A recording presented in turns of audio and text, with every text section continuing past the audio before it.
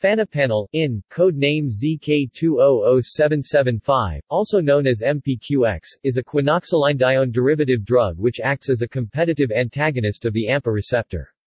It was under development by Schering AG for the treatment of cerebral ischemia associated with stroke and trauma, but clinical trials were halted for safety reasons related to possible glial cell toxicity and due to intolerable side effects such as excessive sedation, reduction in consciousness consisting of stupor and coma, and transient neurological deterioration. The drug was also observed to produce visual alteration and impairment, including blurred vision, strongly impaired color perception, and reduced visual acuity and dark vision, side effects thought to be caused by blockade of AMPA receptors in the retina. References